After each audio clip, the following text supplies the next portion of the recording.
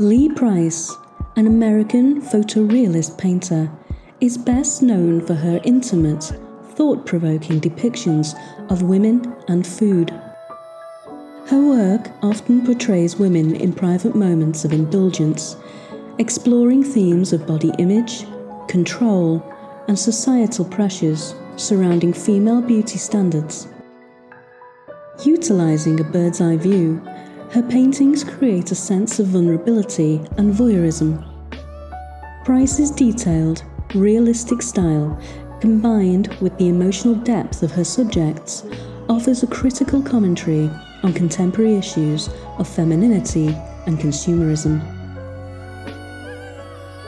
For more explorations in contemporary art, as well as exhibitions from upcoming talent, visit our website and YouTube.